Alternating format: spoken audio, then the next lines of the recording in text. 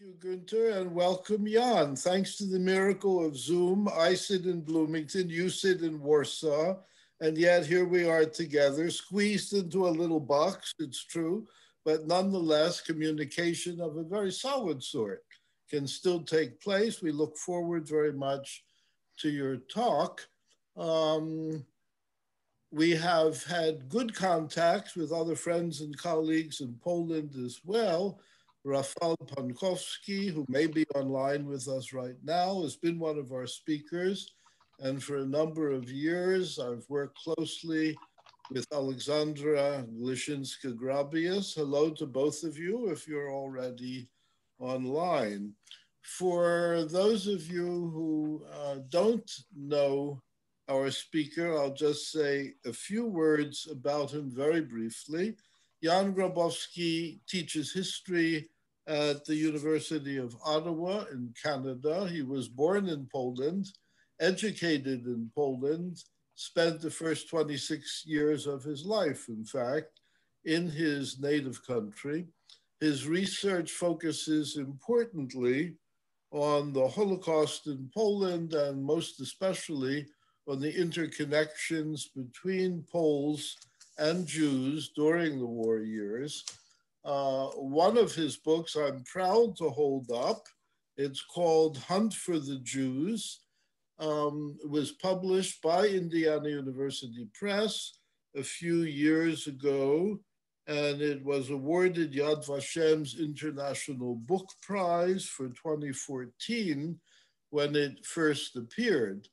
He's continued his research very productively since then uh, Indiana University Press, together with Yad Vashem, will be co-publishing an edited English translation of a major, major volume that he did with Barbara Engelking. In English, it will be called Night Without End, The Fate of the Jews in Occupied Poland. The sooner that book can come out, the better for all of us. I'm proud once again that Indiana University Press uh, is behind it.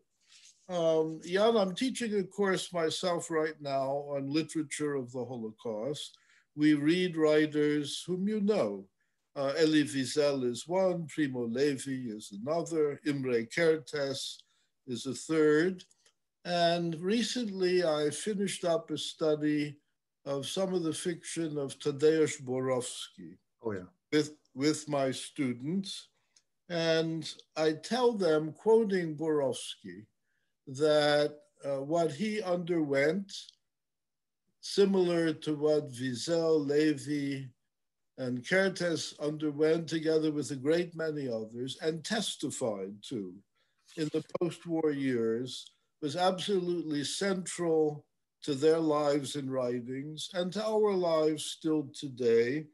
In Borowski's own words, he saw his assignment, I'll call it, as to speak up for the dead and to tell the world the whole truth and to call it by its proper name, to tell the world the whole truth and to call it by its proper name.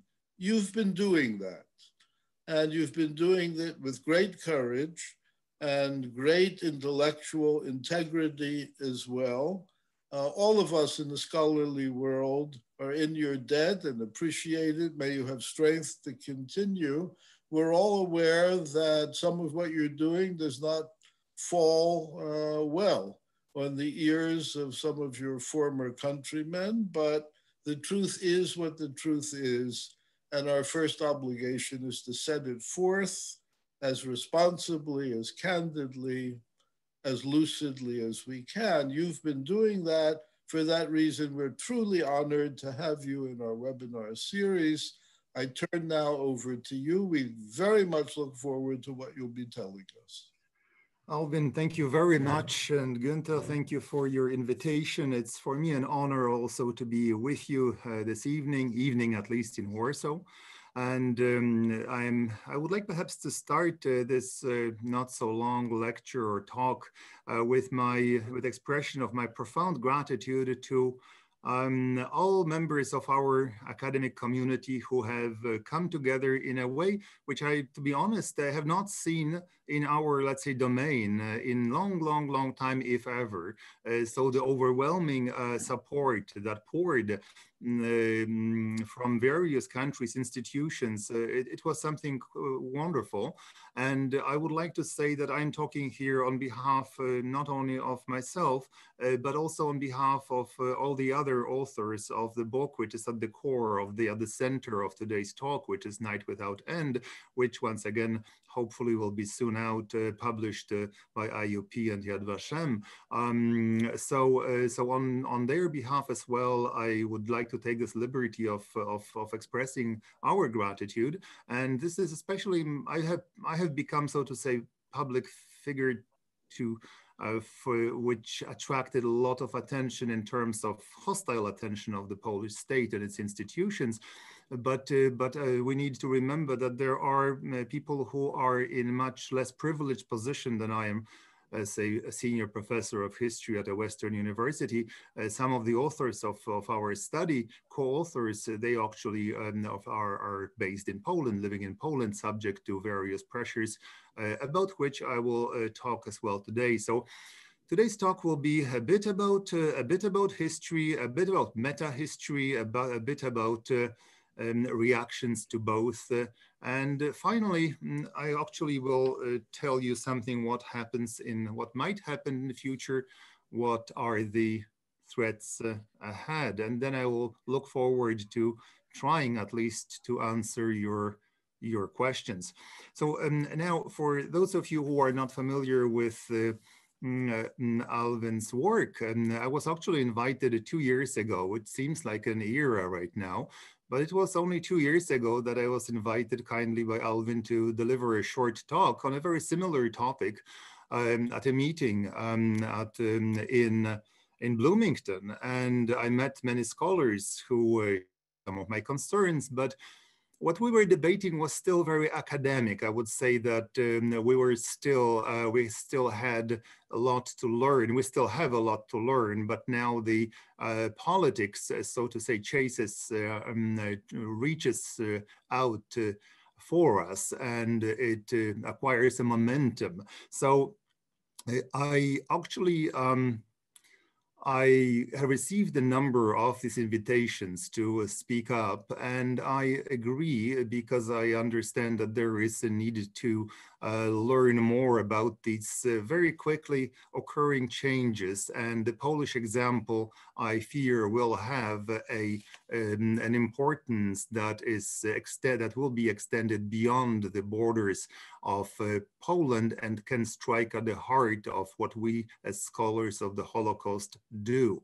Um, and um, furthermore, the situation is evolving so quickly that, well, a historian would love to have this Abstand, as the Germans say, um, this distance. Uh, however, this is impossible. So we have to deal with the uh, very quickly um, uh, changing reality um, however much we abhor this situation, uh, which is not conductive, conducive to uh, reflection, to let's say um, a long time um, thought, but we need to react. So my short talk will be revolve, will be um, will be in a few parts. First, I will discuss with you the mythology. Okay, very quickly, the mythology upon which uh, national mythology upon which these problems are centered, around which these problems that we will see are centered. Then a few words, very few words, because I don't want you to know about the book. A few words because I don't want you to learn too much and then you will not buy it. So uh, it will be just an, an, a very quick overview of uh, some of the findings. And then a few words about the trial, and then about the Polish state showing its teeth, and finally the sentencing and what lies ahead. So these will be the few, um, few things that I would like to uh, discuss with you. And I will start with, um, with uh, certain um, myths and their impact on, uh, on, on the society um, on the society. So um, first of all, this national myth, and each nation has its myths. Uh, the problem is how much uh, a state is mixed into, let's say, creation of these uh, myths? How much of this mythology is fostered, encouraged, maintained, enforced even by the power of the state? Um, how much of it is uh, riding on traditions, which are a different matter. Um, so in terms of these, uh, this national mythology in Poland, but you can substitute here Lithuania, you can talk about Ukraine nowadays, about Hungary, Russia, um, and uh, practically all other nations. But uh, let me focus on my own uh, little, um, little area of uh, expertise. so in Poland, obviously, this most important national myth is the myth of innocent Polish society during World War II, uh, which is, and uh, so this is the part that for us as scholars of the Holocaust, there are many other myths, but this one, of course, is at the core that uh, if you have a society believing that basically this society always during the time of crisis, which was World War II, held more high moral ground, there is very little in terms of uh, of possibility of having a discussion because once again this is a form of a religious experience, unfortunately. Uh, and as you know, dealing with religious experience is, uh, well, requires um, other arguments than those based on history, logic, and so on. Um, now, the second thing is uh, that um, we are what we are dealing here is so within the context of the mythology of national innocence, um, you have the sub themes which are which become very conspicuous. One of them is uh, we are not dealing here anymore with Holocaust denial. Holocaust denial is not, from my perspective, however disgusting it might be, it's not a problem in terms of the Polish situation. Uh, what we are dealing here is something that um, Manfred Gerstenfeld identified a long time ago, and then recently it has been uh, really um, um, talked about and reinforced by uh, Professor Yehuda Bauer, mm, which is the Holocaust distortion. To put it very, you have heard, I, I have uh, followed some of your seminars, uh, Alvin, here, so I know you have been debating this issue before. I don't want to uh, go into the same direction anymore. I assume most of you know what's uh, Holocaust distortion, but generally speaking, it's, uh, mm, it's an idea that the Holocaust happened, but we had nothing to do with it. Um, so basically, in, in, a very, very shorthand scenario, now the um, sub-context is that, you know, of course, there were some Poles who harmed the Jews, but this is a criminalized little margin, okay? And these people who harmed the Jews, members of the Polish society, by the same, same token, they removed themselves outside of our Volksgemeinschaft. They stopped being Poles, basically. However, on the flip side, what you have is that if uh, some Poles uh, saved the Jews, rescued the Jews under the occupation, everybody did. In other words, you have this uh, position of default position of the Polish nation was a massive rescue effort. So these are this, this part. Now, on the fringes of this distortion, because of course this has little to do with historical facts, with historical truth, uh, on the margins, you have a, new kind, not new kind, but a, uh, an old kind of argument, which is placing the blame partially on the Jews themselves. Well, look, Jewish, Jewish police, for instance. I published a, a, book last year in Poland about Polish blue police, which had a tremendous, I would say, and a horrifying role in the Holocaust, previously practically unknown. And so the initial question was, well, how dare you write about uh, Jewish police? You should write about, sorry, Polish police. You should write about the Jewish police. Second thing is the so-called um, Jewish collusion with the Soviets in the East. So 1939, 1941, see the Jews were here in cahoots with the Soviets, so they had it coming, basically goes the argument, which you can find nowadays extraordinary, um, extraordinary um, uh, mm, present in uh, Polish, pop, Polish popular discourse. But the most at the core of this, what I call it um, righteous defense, is the stress placed on Polish righteous. Polish righteous that are used in a very, very cynical way by very cynical people in order to diffuse any argument about possible Polish complicity, the issue of guilt. Um, the Polish righteous, who are actually a very terrorized minority, are becoming this, um, this leaf uh, that is supposed to shield this, um, this myth of national innocence. And associated with this um, with this righteous offensive, as you can call it, is a sad fact that can be called the de-Judaization of uh, of the Holocaust. In other words, you take out those Jews who are not very popular, they are not fitting the national narrative, and you replace them with the noble Christians, Poles, be the or someone else. Now, I would like to show you a couple of slides. So uh, give me a second here. I will try to move to my uh, to my slides here. And let me see where it is. Yes. Um, uh, if you could just give me a second here, slide show. Or no, this is here. Uh, so Um, this is actually an interesting, sorry, an interesting poll which has been, um, uh, which has been published very recently, um, a couple of months ago, which is a graphic illustration of the problem that uh, I mentioned.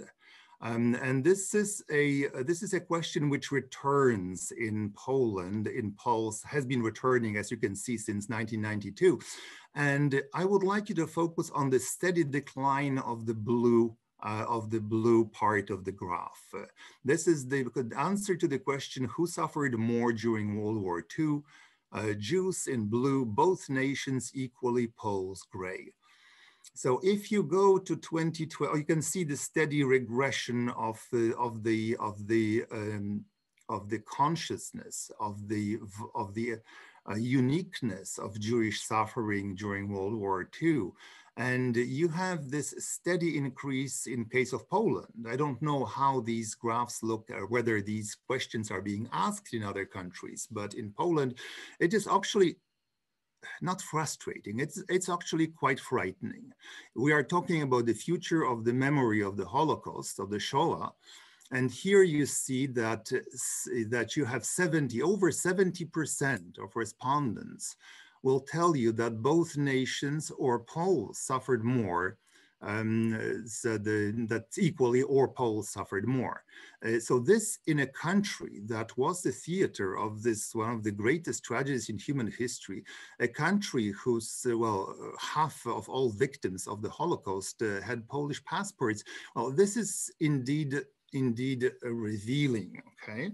And this, of course, is uh, in part, large part, related to the uh, to the myths, to the defense of national mythology. Now, these polls went further. I don't have the time to discuss all of them uh, with you, of course, but the same poll, another question I'm quoting here, that 19% uh, of respondents said that uh, war, I'm quoting here, is a bad thing.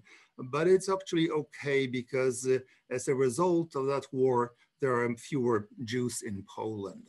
Uh, no, so if you have 20, one fifth of respondents telling that Holocaust was a bad thing, but actually the good side of it was that there are not so many Jews in Poland now, well, it, it makes you wonder.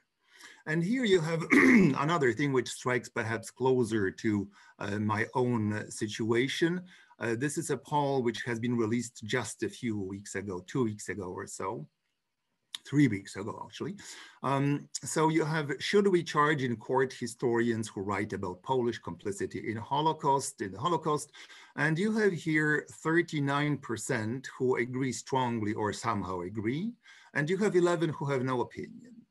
Now, the thing is that uh, this question does not ask it whether these historians are right or wrong, whether they present uh, an, an, let's say, an unbiased image of the past or a biased one. It simply asks that about historians who, uh, about historians who, um, uh, who uh, have this kind of research which they publish. So this is a kind of, uh, I would say, situation which should be ring all possible alarm bells uh, for us uh, scholars of uh, the Holocaust. I, I, don't have to reinforce this idea at this stage.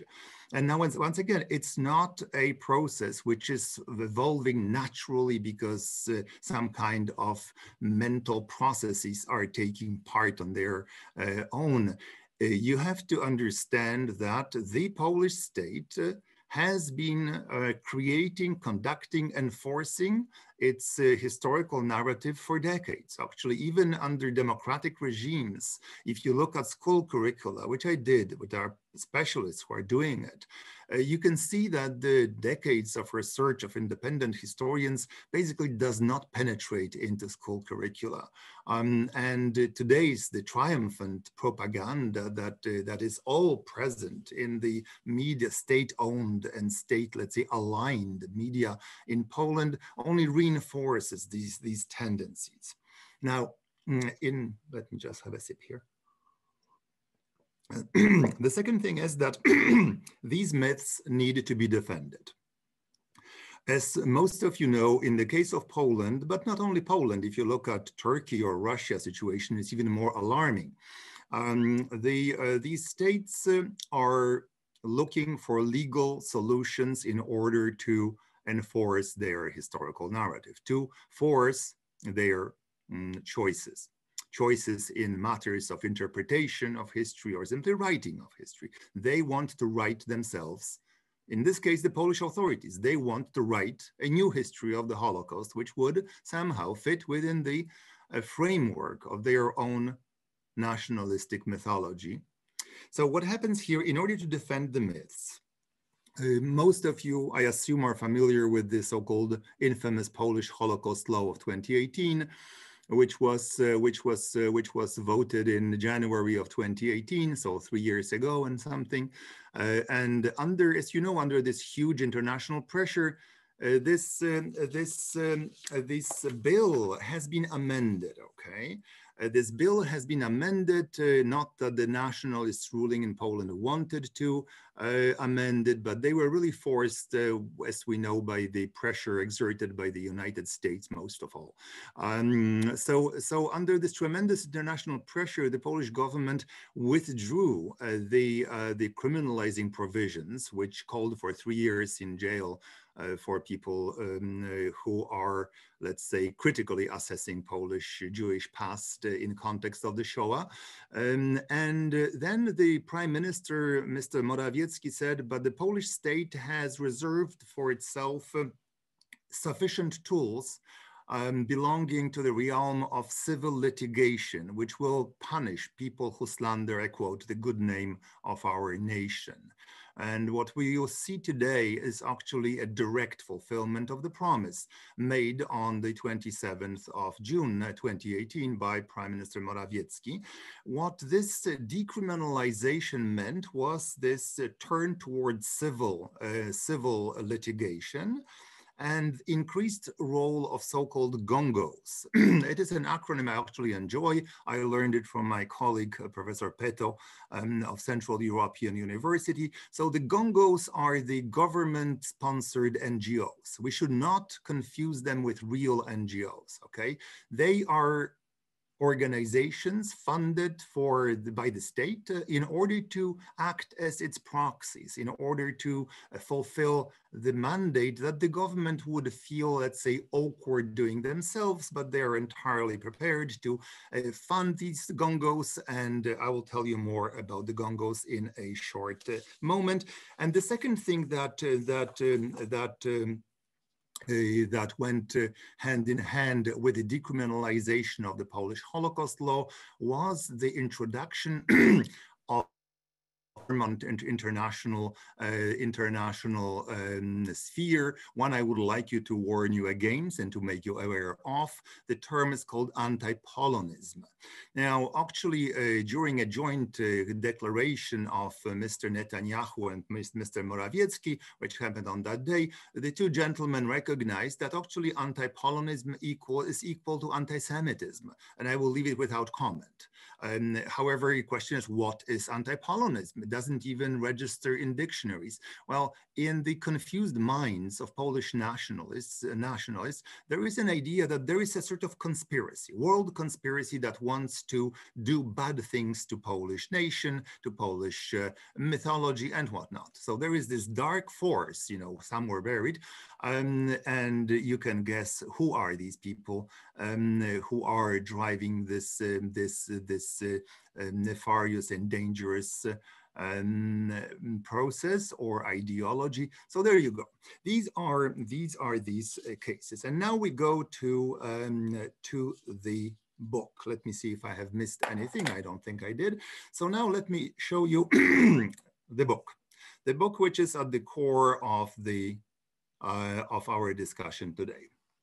As you can see, um, this is, I'm a big man, okay, but this is a very big book. This is just volume number one, volume number one, which is, uh, which is 820 pages. And there is actually volume number two, which is about the same number of pages. And these two studies, uh, which are today the center of vicious attack by Polish government, by Polish nationalists, by organizations, media and institutions aligned with the Polish state. This is what we are talking here about. 1600 pages, years and years of labor of nine authors who spent years in countless archives on three or four continents, trying to do a as detailed micro research of Jewish fate as possible in selected areas of occupied Poland. Okay, uh, Mike, why this? Uh, why, so why this thing? Why this? Why this study so academic with three and a half thousand footnotes? Why this created triggered this absolutely furious reaction of the institutions of the Polish state? Well, the thing is that in this book we really were looking mostly at the Jews. Um, for the Polish nationalists, the Jews are not really important, but what is important are these elements which testify to the complex relationships between the Jews and the Poles at the time of the Shoah. And in that book, of course, there is a lot of it. The discussion also is not, is going beyond people, some people, uh, we are trying to, we were trying, I believe with success, to pinpoint it down to certain numbers and percentages and proportions. If we were talking about Jewish survival strategies, we needed to look at why so often these strategies ended in, in tragedy. Uh, so, and we could provide an answer that in vast majority of cases, the Jewish tragedy after the deportations, we're basically looking at the post-deportation period um, after middle 1942 and onwards, once the Jews fled who, who were able to, to the Aryan side, so-called Aryan side.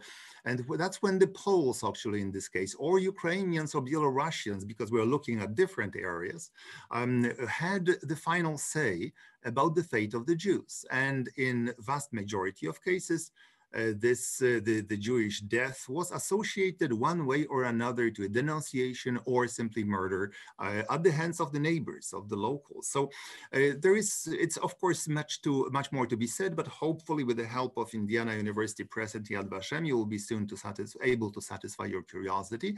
But um, this book, this purely academic book, uh, also was published right smack in the middle of this story about the Polish Holocaust law. Uh, we deposited this book on the table in May of 2018, which was right in the middle of this growing fury, international fury, with the Polish Holocaust, uh, the Polish Holocaust law. So now this is the, the general situation. And um, now let me share the screen for a second again, so I can see my, um, uh, so I can see my uh, overheads here. Um, Right. This, so this is this is here the the book that you uh, that you that you have in front of you. Two volumes. Once again, nine authors. Very different, very different conclusions in terms of variety of tactics used by the Jews and variety of tactics used by the Germans and variety of responses of bystanders. In any case, um, something which was not uh, palatable to uh, very many Polish uh, nationalists.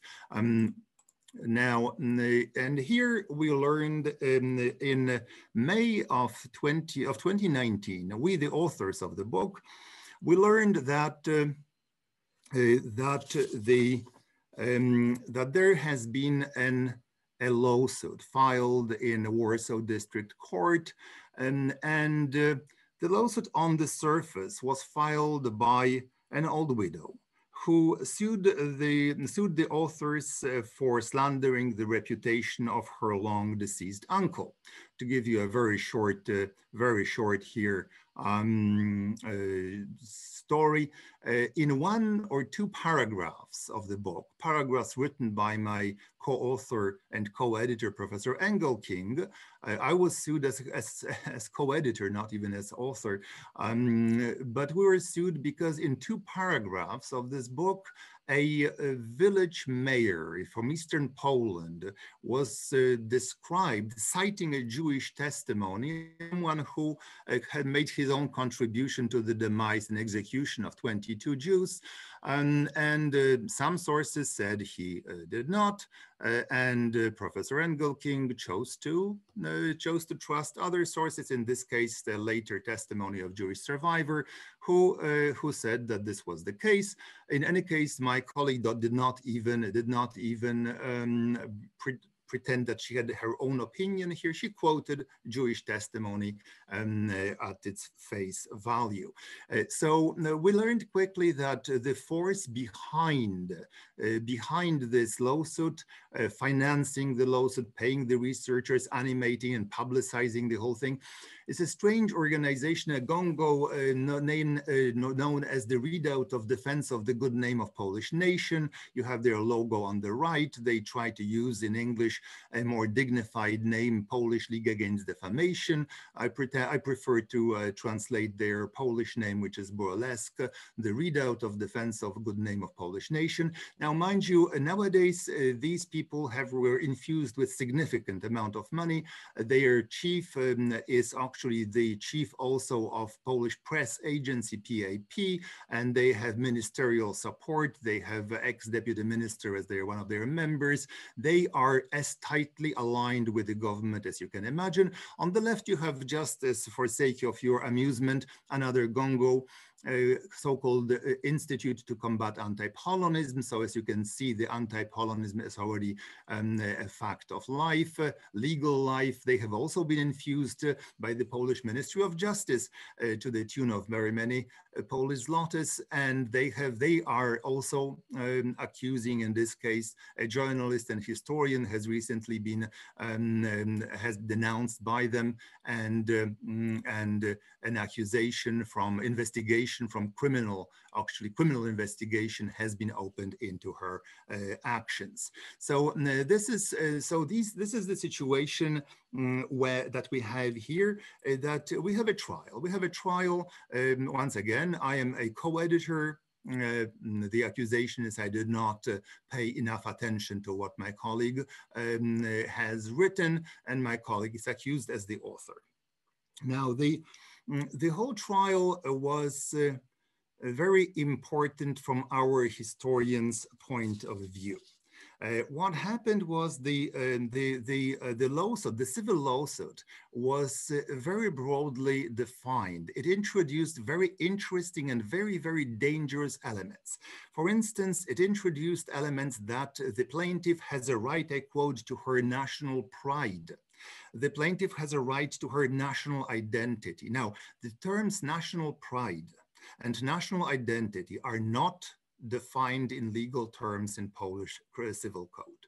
Now, the problem is, however, as I learned from our lawyers, is that the mm, that the, the jurisprudence in, in civil litigation can be expanded through uses, through the usage. So normally, if you have a defamation lawsuit, it's your own uh, it's, it's, your own honor, your own, your own, let's say, right to your good name. And there is nothing wrong with it. It's natural. We should be able to defend our good name. But here was a push to have a recognition. You can actually, the, what was the plan was to be able to uh, launch a lawsuit if your national dignity, so whenever another Pole actually was somehow slandered or you thought was slandered or your national pride was, uh, was hurting, then you could also launch this kind of a lawsuit. And I'm not going too far into it because I'm not a lawyer, but there were a few cases in Polish uh, legal practice of last two years when these gongos actually won these cases, I believe against German TV, but this is a topic for another story. I'm certain we can debate it some other time. now, the other thing is that, and uh, this was really something very important, the court was asked to look at the quality of historical archival and oral evidence. In other words, uh, look at also the quality of Jewish testimony. Qu questions were raised, for instance, to give an example, in court by the lawyers of the opposing side, well, in the case of uh, this Jewish lady who was at the center of this discussion, well, she changed her CV so many times. How can you trust someone who changes her CV so many times? Well, for a scholar of the Holocaust, it's fairly obvious that if you are a Jew who wants to survive during the occupation, you do change your CV very significantly, otherwise you are dead. Um, but I mean, trying to raise these questions is something that I did not anticipate actually at all. Now, there are at the core of this story are the the documents, for instance, issued by Polish courts after the war. When you have extraordinary pressure exerted by the community, by the local community on people defending their own against the Jewish accusations. Jewish witnesses are known, of course, to, to, to, to um, uh, render innocent their own tormentors on very many occasions under the pressure of, uh, uh, of local community. Mind you, by 1947, very few Jews are left in Poland. After Kielce pogrom, um, Jews who are remaining in Poland, they have cast their lot with the Polish society. They want to be left alone. They want to be Poles, okay? The last thing they want to do is to go to court and testify against other Poles uh, about them murdering the Jews. Um, so this is uh, these questions, of course, are not for the court to settle. Or very would be very unfortunate to, to, see the the court settling these issues. So now let me let me share a screen with you again because at this stage, when our pro our trial was was was underway, it lasted more than a year due to the uh, or a year and a half due to the pandemic. Uh, the institutions of the Polish state became hyperactive. And by institutions of the Polish state, uh, there are several. I will focus on two, but there are more. Uh, let me uh, open once again this um, this um, uh, uh, this um, uh, this part. So uh, one of them is the Institute of National Remembrance. Uh, those of you who are not familiar with this particular animal, this is a curiosity on a world scale. You have an institution that is supposed to maintain the integrity of national uh, historical narrative. They also have very significant prosecutorial powers with over 100 prosecutors on staff. They have a budget of 120 million US dollars per year. They have hundreds of historical historians writing, well, the problem is I don't call them historians. We histor they have employees responsible for the area of history. Um, normally, we historians, we fight for our grants in a peer, um, uh, peer um, uh, evaluated competitions. We define ourselves what we want to do right? Now, in the case of, um, of Institute of National Remembrance or Pilecki Institute, you have people, you have institutions infused by the state with their own budgets, and they realize or they, they, they put into practice the, uh, the, the goals of the state in their respective areas of expertise or not even expertise. Now, what happens here, uh, to give you an example of what is possible in Poland today, uh, this is uh, IPN director Dr. Tomasz Greniuch offering the Hitler Gruß. Um, uh, this is a, a, an old photo, uh, but um, he was appointed to a position of director a month ago. After a furious international outcry, very reluctantly, he has been withdrawn from that position. But he didn't come from nowhere, okay? The thing is, he has been a director and the photographs, these photographs of him uh, raising his right hand were known for years.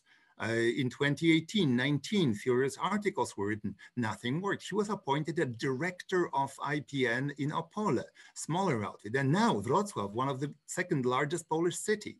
And I mean, this, these, this man has not been parachuted from outer space. This is what is possible in Poland today. Um, here you have the gentleman in question in the middle. And and left hand, you have Dr. Panfil. Okay, Dr. Panfil is another employee of, uh, of, uh, of the IPN, and uh, he was became uh, rather famous two years ago when he said that Jews didn't have it so bad under occupation in the beginning of it. And then he said that the Germans organized the Jewish uh, uh, self-government, which were the Jewish councils. Um, I mean, this, these things shouldn't really happen. You have another here, um, employee of the IPN, uh, who praises political assassination in Chile. There is an atmosphere of, uh, well, uh, of, I don't know how to define it. It's something that I thought impossible um, a very short uh, time ago. Um, now, one of the problems here is that uh, anti-communism in these organ, in particular in the IPN, uh, anti-communism uh, uh, trumps uh, anti-Semitism. What you see here is one of the exhibitions produced, uh, educational ex exhibitions produced by the IPN uh, to celebrate in the month of January this year, 2021. It's called a road to freedom. Now, what is this road to freedom? It is a withdrawal of the only Polish unit of Polish resistance, which withdrew with the Nazis west to the west in front of the advancing Soviet army.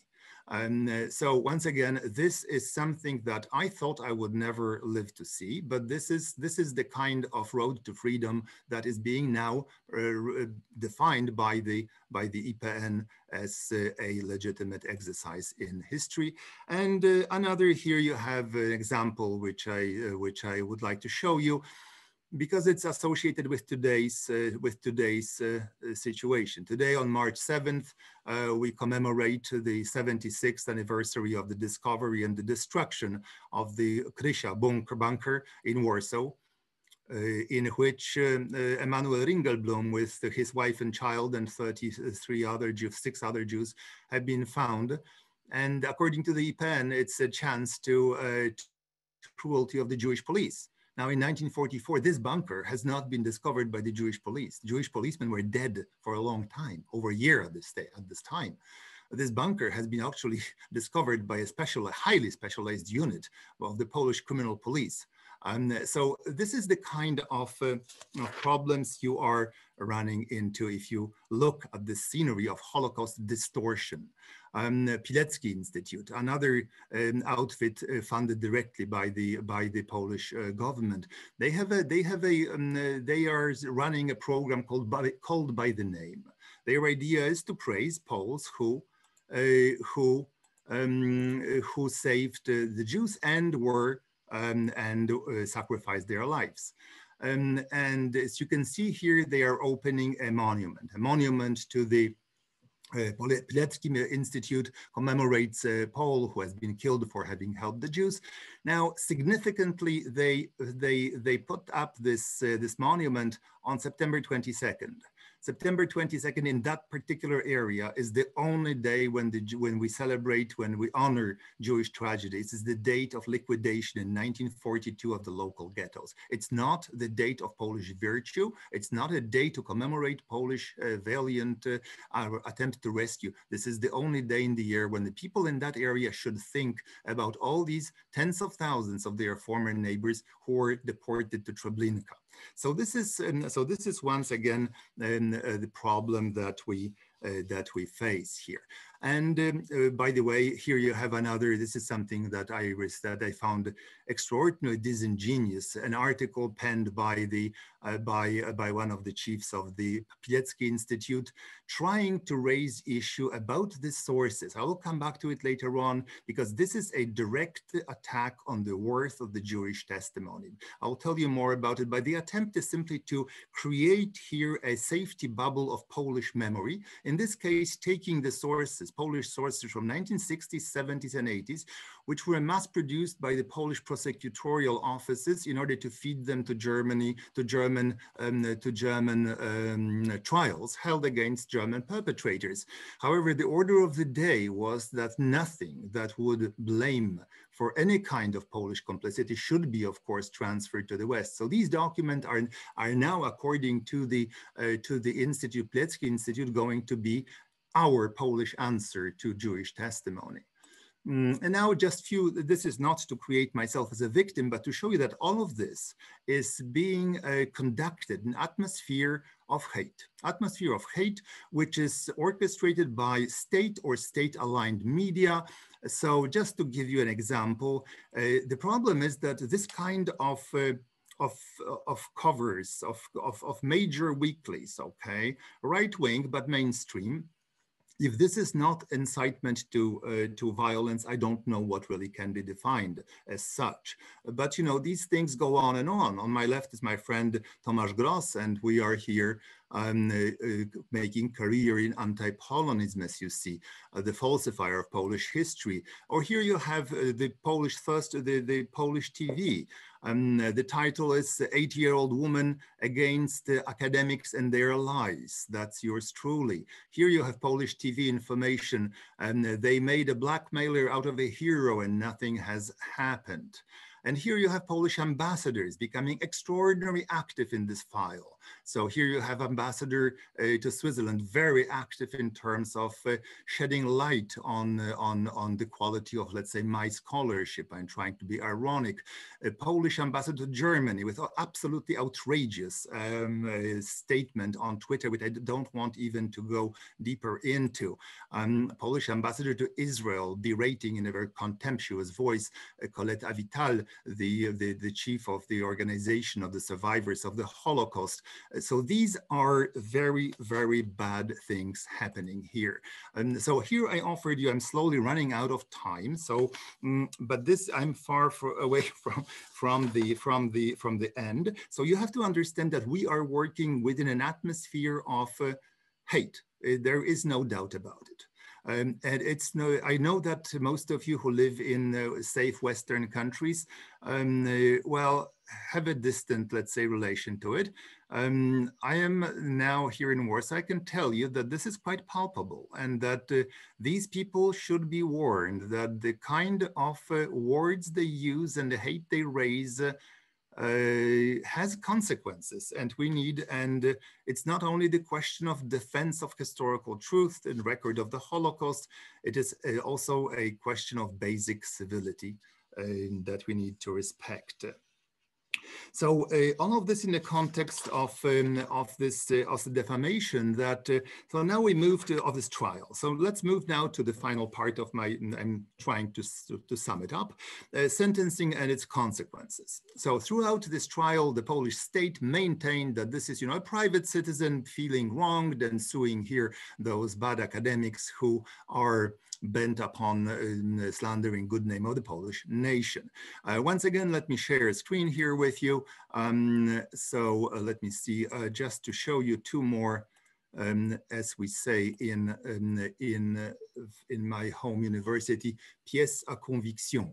Uh, so here you see a tweet, tweet uh, and then was also a um, a longer interview give, given to, uh, to, um, to a broadcaster by one Zbigniew Ziobro. Zbigniew Ziobro is the Minister of Justice in Poland, and I'm not even going to start this part of what's happening to the system of justice in Poland right now. Probably some of you know, if not, you can find easily on the information um, at the tip of your fingers and here, uh, here uh, he congratulates um, uh, this uh, the, the, plaintiff, um, uh, and uh, this he says this proud woman um, countered the lying propaganda which which slandered Poles. So now, if you have the Minister of Justice interfering in a trial that is not even yet a verdict for first degree, which has not yet been appealed, in the context of the situation of the of, um, of Polish system of justice, well, you can you can ask yourself what is happening right now.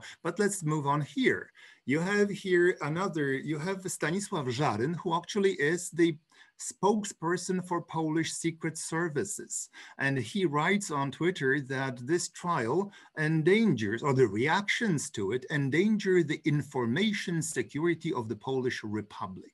So if you want to see the bizarre world in which one has to live here, uh, this then you have a glimpse of it, and not that I envy this experience. So uh, the verdict, the sentence, the, the, the judge clearly wanted to satisfy everybody, which is perhaps the worst uh, scenario, uh, trying to go on both sides. So basically rejecting uh, demands for uh, damages, very high damages, which were financial damages, which were requested uh, and rejecting also the notion of these um, these uh, hurt national feelings and national pride, which was, of course, uh, from our scholars' perspective, an important thing. However, uh, on the other hand, uh, requiring us to apologize to uh, the plaintiff for having presented inaccurate information um, about her deceased uncle. And here the problems, we don't have yet the written uh, justification of the verdict. What I tell you very briefly is the, um, the, the oral justification of the verdict, uh, which basically said that in certain circumstances, the his historians are not allowed to, to uh, launch hypotheses.